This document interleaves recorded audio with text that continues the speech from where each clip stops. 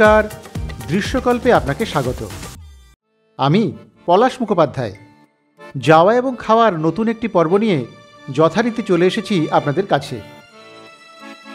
বেরিয়ে পড়েছি সকাল সকাল। তবে আজকের বেড়ানোটা একটু অন্য রকম হতে চলেছে। কারণ যাওয়া এবং খাওয়ায় এই প্রথম আমরা দুজনে বেরোলাম। দুজনে অর্থাৎ কর্তা গিন্নি। ছেলের পরীক্ষা, তাই সে এবারে অনুপস্থিত। আজ আমাদের দুজনেরই সফরকে আটপৌরে ঝটিকা হনিমুন বলা যেতেই পারে।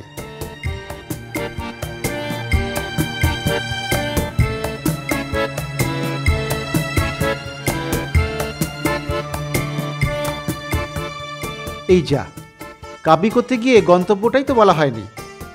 আজ যাচ্ছি সোনারপুর এবং বোড়াল। একেবারেই দূরে নয়, কাছেই। তাই একটু দেরি করেই বেরোনো হয়েছে। তবে প্রাতরাশ কিন্তু আমরা সোনারপুরে গিয়েই সারব।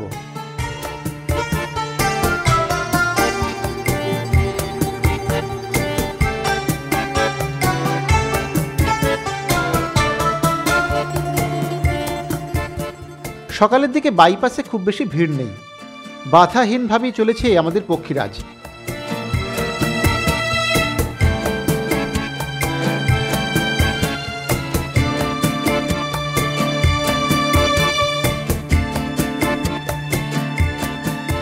দমদম থেকে মিনিট চল্লিশের মধ্যে চলে এলাম কামালগাজি। বাইপাস ছেড়ে এবার কামালগাজি মোড়ের দিকে চলেছি।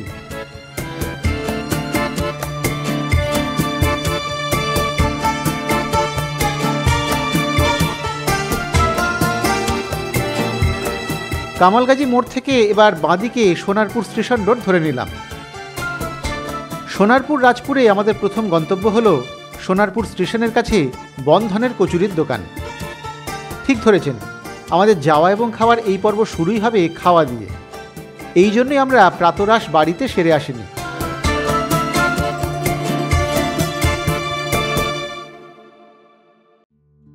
চলে এসেছি স্টেশনের সামনেই তিন মাথা মোড়ে।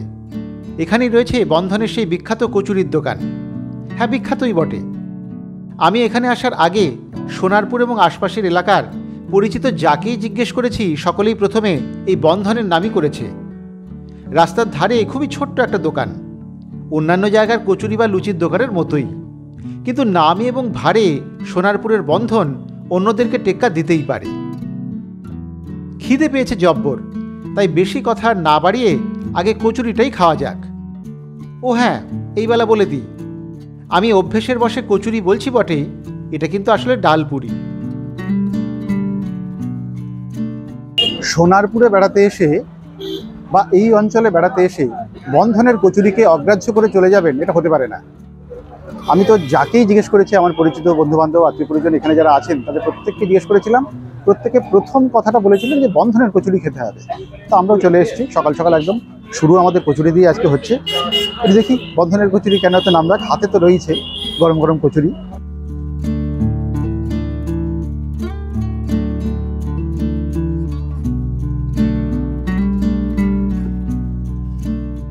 বন্ধনের কচুরি ভালো। এটা ডাল পুরি প্র্যাকটিক্যালি ভেতরে ডালের একটা পুর আছে। বেশ সুন্দর ডাল দেয়া আছে। না, বেসন নয়। অনেকে বেসন দিয়ে করেন। আমার খেয়ে মনে হচ্ছে এটা কিন্তু ডালই দেয়া আছে। তো সেক্ষেত্রে বন্ধন এই ব্যাপারটা খুব ভালো মেনটেন করেছে। তরকারিটাও খারাপ না। এমনি আলু, মটর এসবের তরকারি। কিন্তু তার স্বাদ ভালো। তো বন্ধনের কচুরি খুব খারাপ নয়। হ্যাঁ তো আর একটু খাই। হুম। ভালো। আপনারা সোনারপুরে আসলে বন্ধনের কচুরি স্টেশনের কাছাকাছি, খুব বেশি দূরে নয়, খেয়ে দেখতে পারেন। আমরা তাহলে একটু কচুরি খেতে থাকি। এরপরে সোনারপুর তো বেড়াবো আরও অনেক জায়গা আমরা যাব, সোনারপুর এবং পার্শ্ববর্তী অঞ্চলে। সেগুলো পরে আসছি। আগে কচুরি খাই।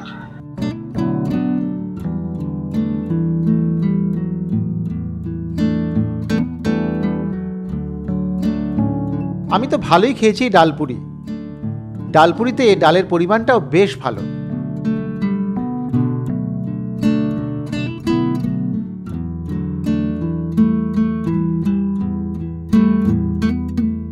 আমার স্ত্রীও ডালপুরি খাওয়ার জন্য হাত বাড়াতেই মিলে গেল চটপট।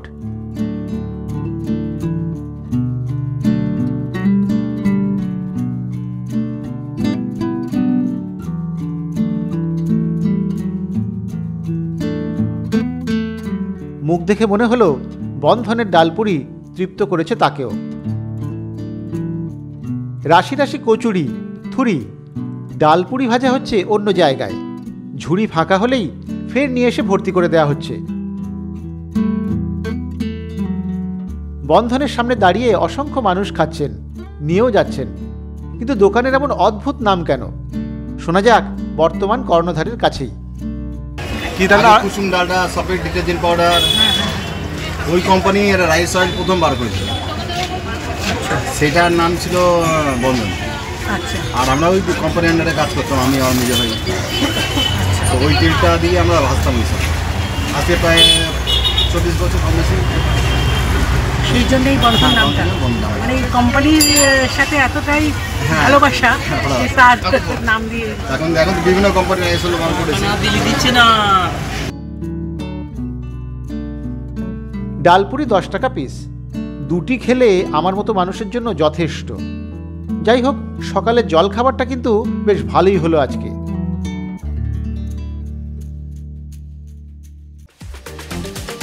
এবার আমরা এখান থেকে রওনা দিলাম।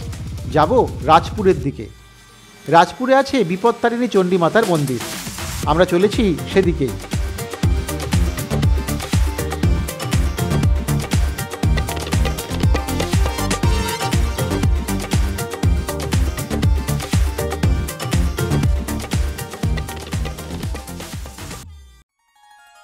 চলে এসেছি বিপত্তারিণী চণ্ডী মন্দিরে।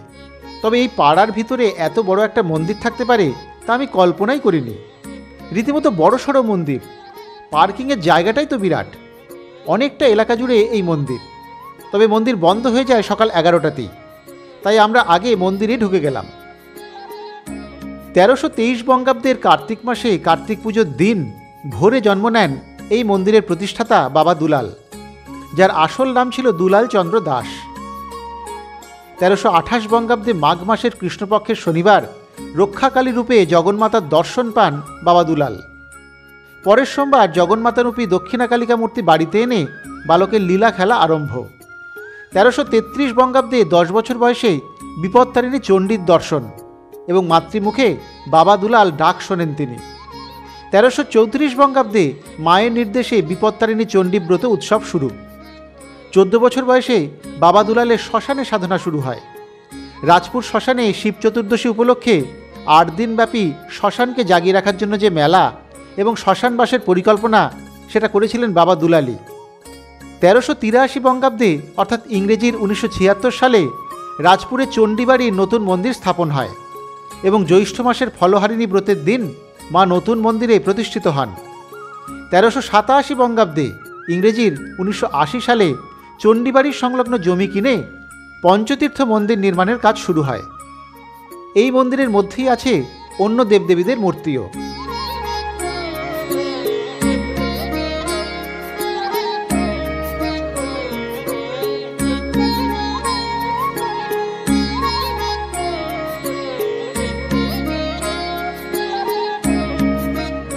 মন্দিরে প্রতিদিন নিষ্ঠা সহকারে পুজো হয়। নিয়ম অনুসারে এখানে আষাঢ় মাসের রথ থেকে উল্টো রথের মাঝের মঙ্গল এবং শনিবারে বিপত্তারিণীর পুজো হয়। পুজোর দিন একেবারে ভোর থেকেই এখানে ভক্ত সমাগম শুরু হয়ে যায়। সবাই মাকে তেরো রকমের ফল এবং মিষ্টি দিয়ে পুজো দেন।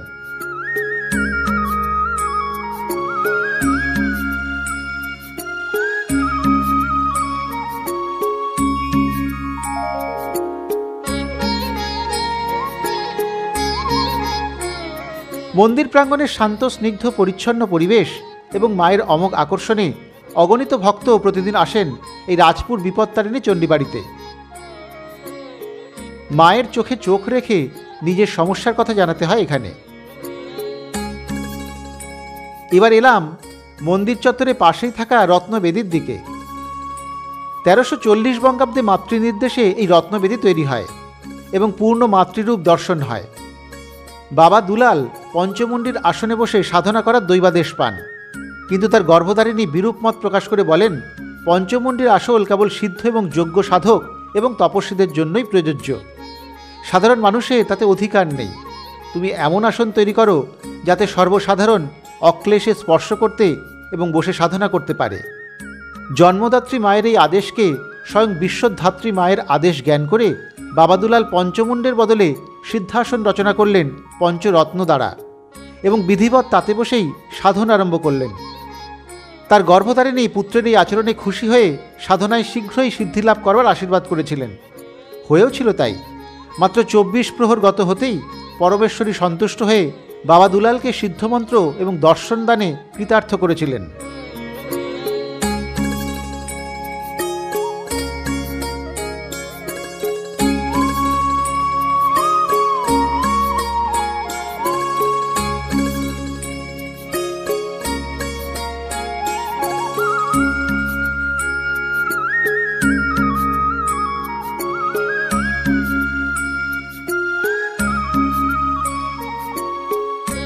রত্নবেদীর পাশেই আছে একটি পুকুর। তার স্বচ্ছ জলে খেলে বেড়ায় মাছের দল।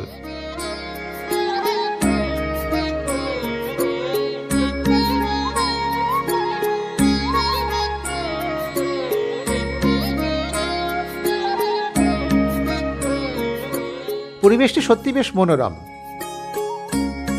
ঘণ্টাখানেক মন্দিরে থেকে এবার এখান থেকে রওনা দিলাম আমরা।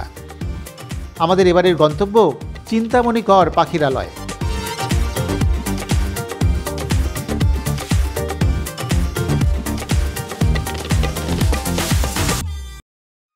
রাজপুর সোনারপুর পুরসভার অন্তর্গত উকিলা পাইকপাড়া মৌজায় এই চিন্তামণিকর পাখিরালয় অবস্থিত। এর আগে নাম ছিল কয়ালের বাগান। মূলত আম, জাম, কাঁঠাল, সবেদা, শিরিষ এবং বাঁশের এই অরণ্যে বড় বড় গাছ ছাড়াও অসংখ্য লতা, গুল্ম এবং অর্কিডও রয়েছে। তবে ঢুকতে গিয়ে একটু হোঁচট খেতে হতেই পারে। প্রথমত গাড়ি নিয়ে এলে গাড়িটা রাখা একটা বড় সমস্যা এখানে। রাস্তার ধারেই রাখতে হয়। দ্বিতীয়ত এখানে ঢুকতে প্রবেশ মূল্য জনপ্রতি একশো টাকা।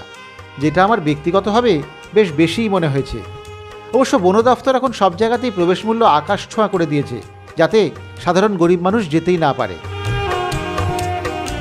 মোট সতেরো দশমিক এক নয় একর বা ছয় দশমিক নয় ছয় হেক্টরের জঙ্গলে রয়েছে শতাধিক প্রজাতির প্রজাপতি সহ নানা পতঙ্গ। উনিশশো বিরাশি সালে এই বনাঞ্চলটি অভয়ারণ্য মর্যাদা পায়। পশ্চিমবঙ্গ সরকার এই বনাঞ্চলটিকে জনসাধারণের কাছে উন্মুক্ত করার জন্য ব্যক্তিগত মালিকানা থেকে সরকারিভাবে অধিগ্রহণ করে। দু হাজার পাঁচ সালে এটি সরকারিকরণ করা হয়। দু হাজার চারের আটই সেপ্টেম্বর পর্যন্ত নরেন্দ্রপুর বন্যপ্রাণী অভয়ারণ্য নামে পরিচিত থাকলেও পরে ওই বনাঞ্চলটিকে আদর্শ অভয়ারণ্যতে পরিণত করার জন্য সর্বাধিক অবদান যে ব্যক্তির, সেই চিন্তামণি করের নামে উৎসর্গ করার পরিকল্পনা নেওয়া হয় তারপরে দু হাজার পাঁচ সালের একুশে অক্টোবর সরকারি সহায়তায় পাকাপাকিভাবে এই সিদ্ধান্ত গ্রহণ করা হয়।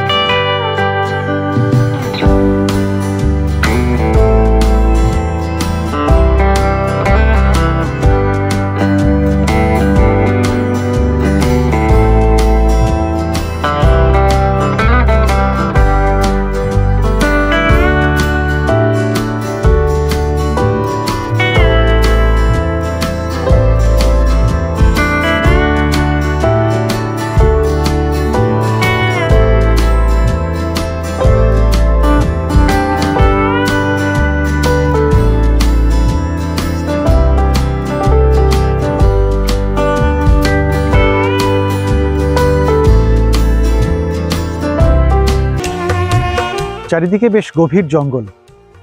পাখির আওয়াজ শুনতে পাচ্ছি, কিন্তু সমস্যা হচ্ছে পাখির দেখা পাচ্ছি না। পাখিরা সব ওপরে আছে, গাছের ডালে লুকিয়ে আছে নানা রকমভাবে এর আগে কুলিকে গিয়ে যেরকম পাখির দেখা পেয়েছিলাম, প্রচুর পাখি, এখানে কিন্তু এরকমটা নয়। এখানে কিন্তু পাখি আছে, তার ডাক তো শুনে বুঝতেই পারছি, কিন্তু পাখির দেখা পাচ্ছি না খুব একটা।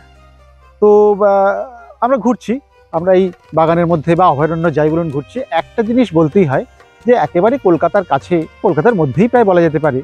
সেখানে এই এমন সুন্দর, এত সবুজ, এমন নির্জন একটা ঘন অরণ্যের মতো পরিবেশ, এই চারপাশটা দেখুন একেবারে প্রায় ঘন অরণ্য টাইপের। বেশ অন্যরকম লাগছে একটা হ্যাঁ? এইটা কিন্তু একটা আলাদা অনুভূতি। সেটা আপনাকে চিন্তামণিকর অভয়ারণ্য বা বার্ড স্যাঞ্চুরি যাই বলুন, সেটা এনে দেবে। তো এইটা একটা ভালো জিনিস, কলকাতার কাছাকাছি আপনারা একদিনের জন্য একটু এখানে ঘুরে যেতেই পারেন। তবে হ্যাঁ একটা কথা বলে দিই, প্রচণ্ড বুনো মশা আছে। আমাদের কামড়ে একদম ফুলিয়ে দিয়েছে। বেশ এই বুনো মশার উৎপাত। তো সেটা বাদ দিলে কিন্তু বেশ সুন্দর ঘন অরণ্য। এটা কিন্তু বেশ সুন্দর, ভালো জায়গাটা। হ্যাঁ তো আমি আর একটু ঘুরি অরণ্যের মধ্যে। তারপরে দেখা যাক কী করে হয় আরও কোথায় কোথায় আবার বেড়াবো। সোনারপুরের পাশে একটু বোড়ালের দিকে যাব আমরা। তো আমরা আপাতত একটু চিন্তামণিকর এই বার্ড স্যাংচুয়ারি সেখানে একটু থাকি।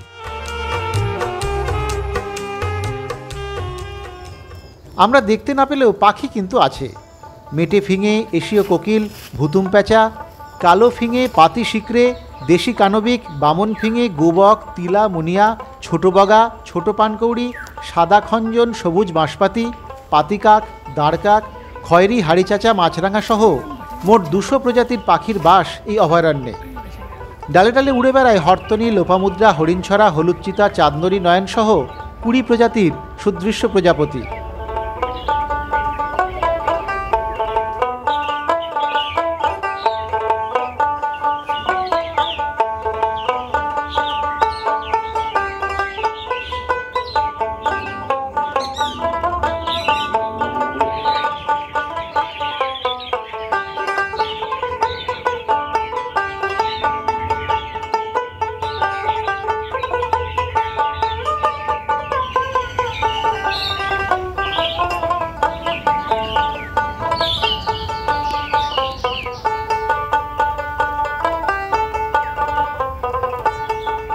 পাখিদের পাশাপাশি বুনো খরগোশ, বনবিড়াল, দুটি প্রজাতির বেজি, গোহরকেল এবং নানান প্রজাতির সাপও রয়েছে এখানে। জঙ্গলে রয়েছে নানান প্রজাতির মাকড়সাও। তাই এই স্থানের আকর্ষণ মানুষের কাছে অন্যরকম। জঙ্গলের মধ্যে বেশ খানিকটা হেঁটে আমরা এলাম সামনের দিকে। সামনের দিকে আছে একটু বসার ব্যবস্থাও। দুদণ্ড জিরিয়ে নেওয়া যায় সেখানে বসে। সঙ্গী হবে পাখির কুজন। পাখি দেখতে না পেলেও আমার কিন্তু বেশ ভালোই লেগেছে এই ছোট্ট অরণ্য। তবে বুনো মশারা একটু বিরক্ত করেছে বই কি সেটুকু বাদ দিলে কলকাতার এত কাছে এমন একটা জঙ্গল আছে তা না দেখলে বিশ্বাসই হয় না।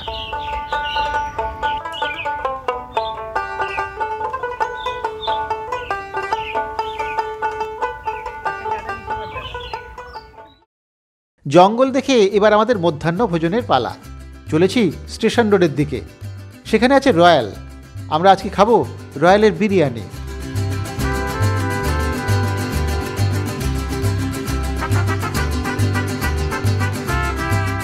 পাখিরালয় থেকে সামান্য এগিয়েই পড়ল চিন্তামণি করের ভাস্কর্যের সংগ্রহালয়। দাঁড়ালাম একটু। কিন্তু রবিবার থাকায় সেটি বন্ধ।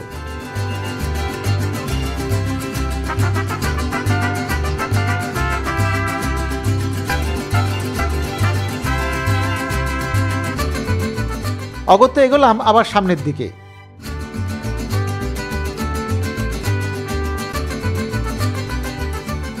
মাঝেই পড়ল ভুড়ি পুকুর। এই ভুড়ি পুকুরের ধারেই আছে দোল মঞ্চ। আমরা দোল মঞ্চ দেখতে একটু দাঁড়ালাম।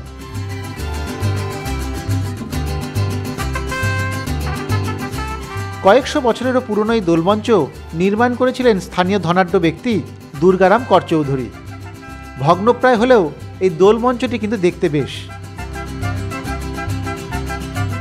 সম্প্রতি অবশ্য জেলা পরিষদ এই দোল মঞ্চটি সংস্কারের কাজ শুরু করেছে।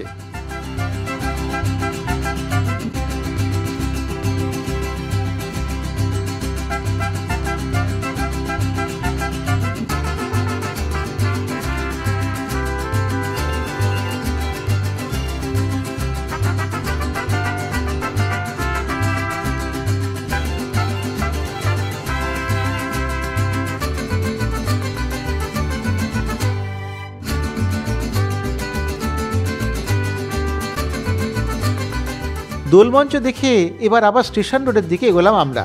উদ্দেশ্য, মধ্যাহ্ন ভোজন।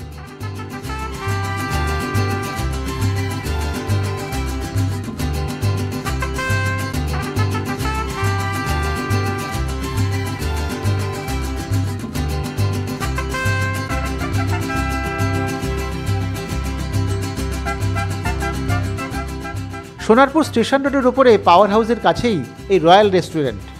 আমরা চলে এসেছি সেখানেই। খোঁজখবর নিয়ে জেনেছি রয়্যালের বিরিয়ানি নাকি এই তল্লাটে বেশ নাম করা রয়্যালের হান্ডি বিরিয়ানি নেওয়া হবে ঠিক হলো। রয়্যালের ভিতরের পরিবেশটি কিন্তু মন্দ নয়। বসতে না বসতেই চলে এলো হান্ডি বিরিয়ানি। এদের এই হান্ডি বিরিয়ানি মাটির হাঁড়িতে করে পরিবেশন করা হয়। সেটা দেখতে বেশ ভালোই লাগে। একটা হান্ডিতে দুটি করে চিকেন পিস থাকে। তবে আলু এবং ডিম একটি। তবে আমরা দুজনে একটাই হান্ডি নিয়েছি। আসলে এরপরে আবার লস্যি খেতে যাব। তাই একটু জায়গা তো রাখতেই হবে।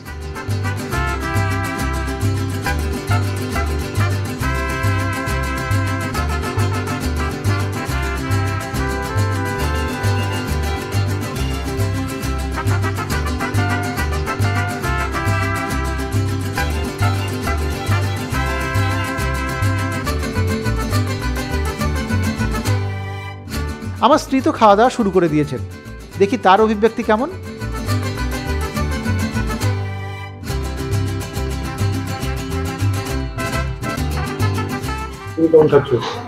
ভালো। আর একটু গরম হলে ভালো লাগতো। গরম কম? গরম কম মনে হলো ভালো। খারাপ না।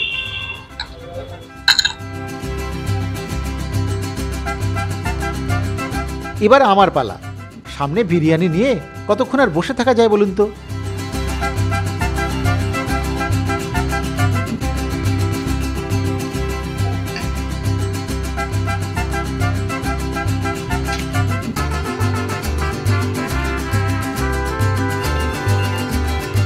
রয়্যালের বিরিয়ানি।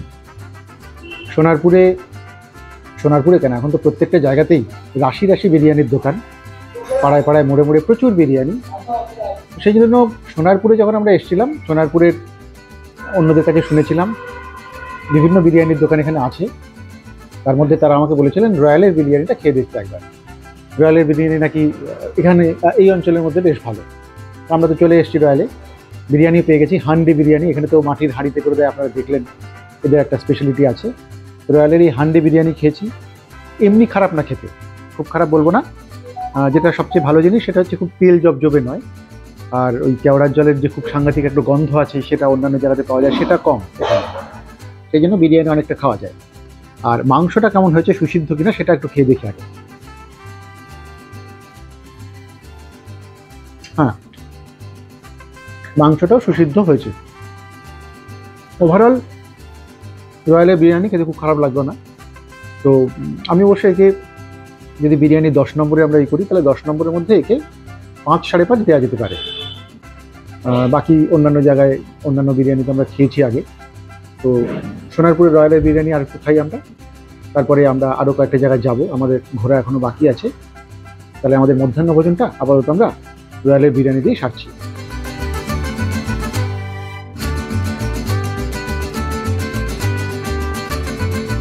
তবে বিরিয়ানিটা একটু ঠান্ডা ছিল। এটা আর একটু গরম হলে এই খাওয়াটা আর একটু জমে যেত। যাই হোক, সব মিলিয়ে মোটের ওপর রয়্যালের বিরিয়ানি আমরা খারাপ খাইনি।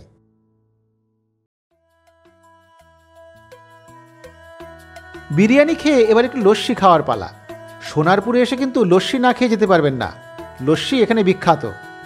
তার মধ্যে আবার সুবলদার লস্যি আরও ফেমাস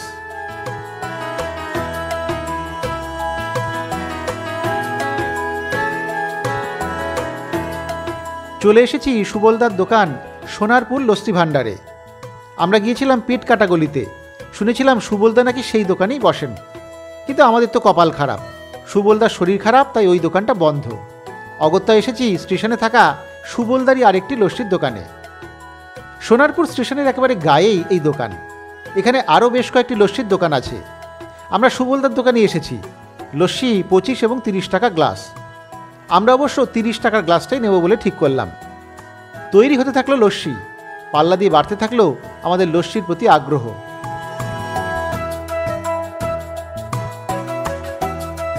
কোনো এক অজ্ঞাত কারণে সোনারপুর কিন্তু লস্যির জন্য বিখ্যাত। সোনারপুরে প্রচুর এই স্টেশনের আশপাশে প্রচুর লস্যির দোকান। তো তার মধ্যে আবার সুবলদার লস্যি খুব বিখ্যাত, সুবল সাহার লস্যি। আমরা সুবল সাহার যে দোকানে সুবলদা বসেন, সেখানে গিয়েছিলাম, কিন্তু সুবলদা এখন শরীর অসুস্থ নেই। আমরা স্টেশনের সামনে সুবলদার যে দোকান, সেই দোকানে এসেছি। সুবলদা নেই, তার দোকানের কর্মীরা আছেন। তাদের কাছে লস্যি খেয়ে দেখি আমার সুবলদা। দাদা, দিন। এই যে, সুবলদার লস্যি একদম হাতে চলে এসছে। এটা কিন্তু গরম গরম না, ঠান্ডা ঠান্ডা লস্যি। দারুণ। সত্যি ভালো লস্যি। তার চেয়ে বড় কথা দেখুন, এই যে ওপরে, এই দেখুন। ওপরে এই যে দইয়ের একটা স্বর এই অসাধারণ একটা স্বর দইয়ের পড়েছে এইটা দেওয়া হয়েছে। এটা দিয়ে খেতে হবে। দারুণ। দেওয়াটা কিন্তু খারাপ না। তো এই আর একটুখানি খাই। সত্যি লস্যিটা ভালো। খেতে ভালো লাগল। তো সোনারপুরে আসলে কিন্তু এই সোনারপুরে সুবলদা বা আশপাশে যারা লস্যির দোকান আছে, লস্যি মোটামুটি সবাই একই ধরনের প্রায়।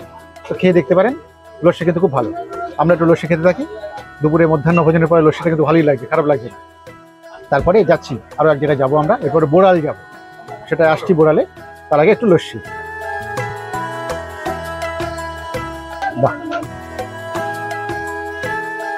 দুজনেই আমরা লস্যিটা কিন্তু ভালোই খেয়েছি। দোকানের ভিতরে সার দিয়ে টক দইয়ের গামলা রাখা। ও হ্যাঁ ভালো কথা। এখানে টক দইও পাওয়া যায় কিন্তু। একশো ষাট টাকা কেজি। লস্যি খাওয়ার পাশাপাশি টক দইও কিনে নিয়ে যেতেই পারেন।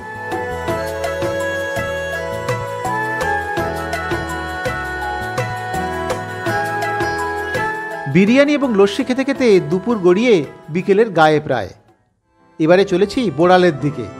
এই বোড়াল গ্রামেই দীর্ঘদিন ধরে একটু একটু করে শুটিং হয়েছিল পথের পাঁচালীর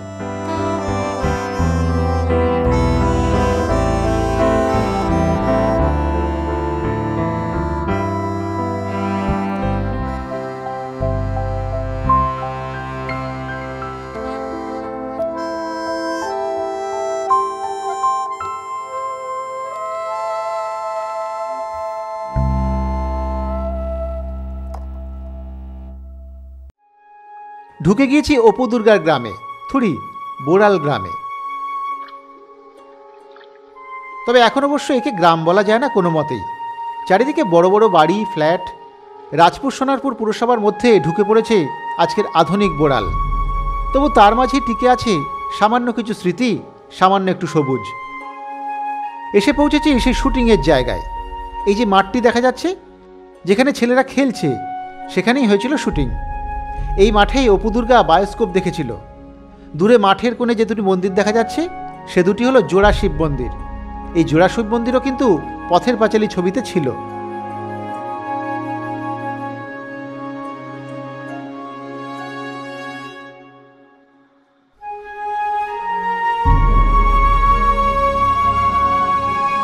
এখানেই আলাপ হলো অশীতিপর সন্তোষবাবুর সঙ্গে। পথের পাঁচালীর শুটিং যখন হয়, তখন তিনি ছিলেন কিশোর। ছাত্রাবস্থায় বাড়ির সামনে সেই শুটিং দেখার কথা এখনও মনে আছে সন্তোষবাবুর?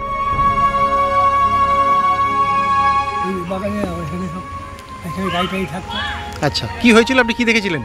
কি দেখেছিলেন মনে আছে? হ্যাঁ এই মন্দির অপু অপু দুর্গা দৌড়ি করে। আচ্ছা। আমাদের এখানে পুরো বাড়ি ছিল পুরো বাড়ি মাঠ ঘাট পুকুর সব নিয়েছে আচ্ছা এখানে? আমার বাবাকে বলল যে যে বিশ্বনাথ বিশ্বনাথবাবু অনেক কিছু সব মাঠ ঘাট পুকুর সব নিলাম। তা আপনাকে কি দিতে হবে? কিছু দিতে হবে? না দুটো মন্দির রিপেয়ার করে দেবেন। বলে আমি বই স্ট্যান্ড করে। তাহলে আমি রিপেয়ার করে আপনার দেবো বই স্ট্যান্ড করেনি বলুন না। অটোমেটিক নাম স্ট্যান্ড করেনি? হ্যাঁ? স্ট্যান্ড তো করেছি। গৌর বাড়িতে শুরু করেছে বাকিটা পয়সা সব ওই একান্ন সালে এলে বাউনে চলে গেল এক বছর। তাহলে আপনার মনে আছে ভালোই? হ্যাঁ সব। সামান্য দূরেই আছে সত্যজিৎ রায়ের একটি আবক্ষ মূর্তি। সেই মূর্তির অবস্থা অবশ্য বেশ শোচনীয়। সত্যজিৎ রায়ের নামটা পর্যন্ত পড়া যায় না। আগাছা দিয়ে ঢাকা। যে জায়গাকে অপুদের বাড়ি হিসেবে দেখানো হয়েছিল, সেই জায়গাতে ঢোকার ঠিক আগেই এই মূর্তিটি বসানো হয়েছে। তবে এখন সেখানে এই মূর্তি ছাড়ার কিছুই নেই। স্থানীয় মানুষও খুব বেশি কিছু বলতে পারেন না। সত্তর বছর আগেকার কথা, অনেকেই এসব জানেনও না। যেখানে অপুদের ভাঙা বাড়িটি ছিল, সেখানে এখন পাকা বাড়ি। সামনের বাগান বা জঙ্গল কাটা পড়েছে। পিছনের বাঁশবাগানটি অবশ্য রয়েছে এখনও। যে বাঁশবাগানে ইন্দিরা ঠাকুরুন বসে থাকতেন।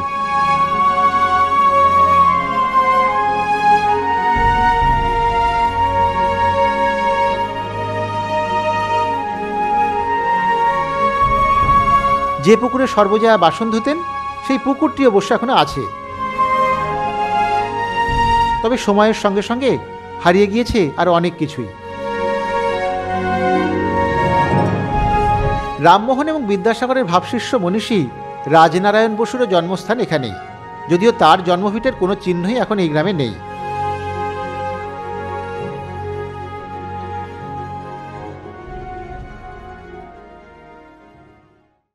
সন্ধে হয়ে আসছে। এবার আমাদের শেষ গন্তব্যে যেতে হবে। আমরা চলেছি ত্রিপুর সুন্দরী মন্দিরের দিকে।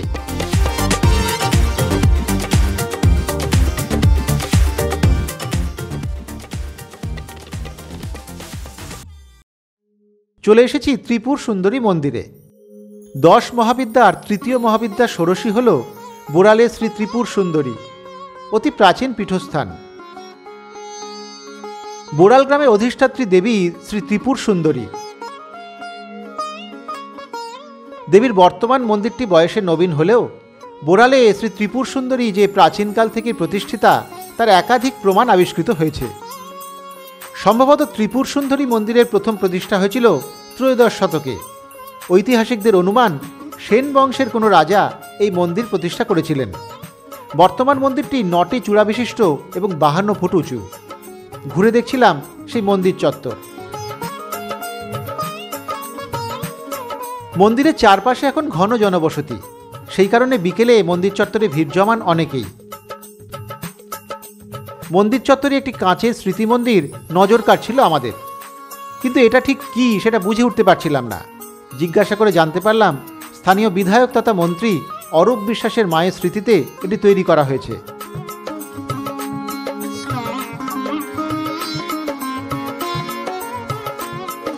এই মন্দিরে একটি সংগ্রহশালা আছে। সময় নিয়ে এলে দেখতে পাবেন সেটিও। আমরা অবশ্য বন্ধ থাকায় দেখতে পাইনি।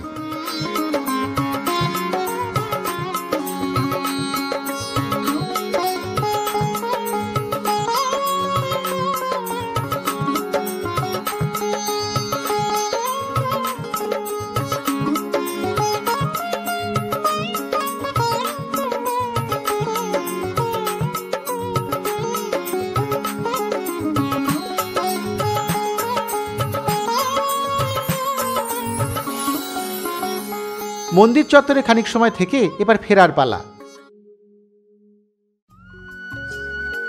মন্দিরে আসা যাওয়ার রাস্তাটি অবশ্য বেশ অপ্রশস্তই। সেই পথ দিয়ে আমরা চলেছি গড়িয়ার দিকে।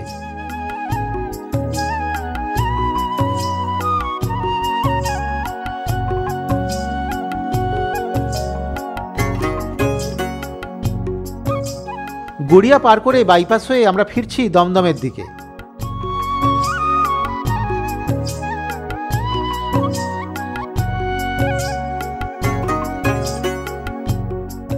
এবারে সোনারপুর আসা যাওয়ার ব্যাপারটা বলে ফেলি।